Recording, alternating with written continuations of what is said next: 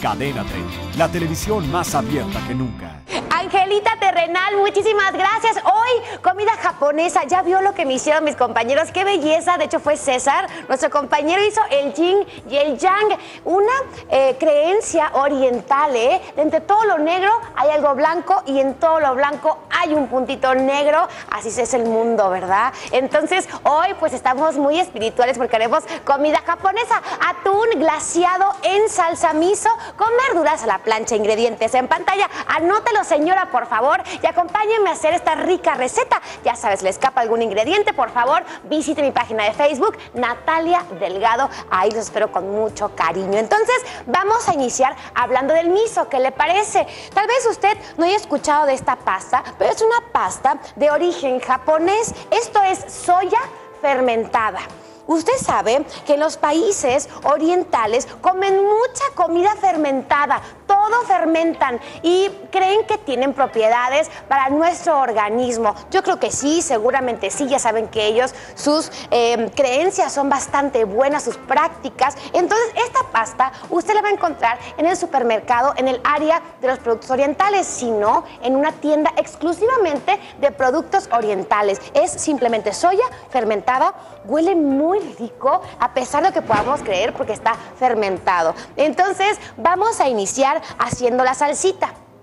Si usted no la consigue, no consigue esta eh, deliciosa pasta, no se preocupe, mire, vamos a hacer la salsita y a la próxima que la vea, la, la hacemos. Esto es jugo de naranja, salsa de soya, facilito que seguro la encuentra, jugo de limón, ajo, que ya huele delicioso, huele muy, muy fresco. Y entonces sí, vamos a agregar nuestra pasta miso, que es poquita realmente. ¿A qué sabe? Sabe como saladita, bastante rica realmente. Y es una comida japonesa, lo usan mucho para el sushi que el sushi son piezas, bueno, de pescado o de marisco crudo y le dan una untadita de esta pasta miso y le da muy buen sabor. Entonces, vamos a hacer nuestra salsita. ¿Qué tal huele, eh? Delicioso, rico, París. Mmm, qué bueno.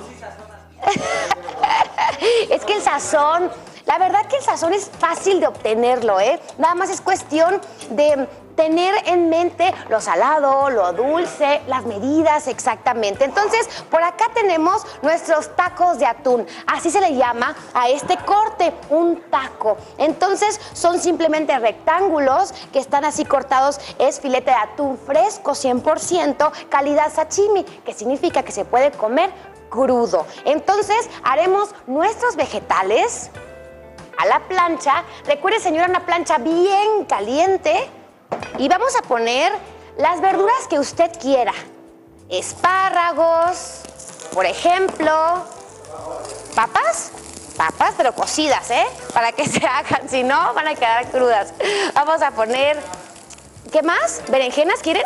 Me parece bien. Calabacitas, hongos, setas. ¡Uy! ¡Qué sofisticados me están saliendo, eh! Ajo y jengibre, que le va a dar un sabor maravilloso. Y un poquito de aceite de ajonjolí, que lo usan muchísimo también y le da un sabor delicioso.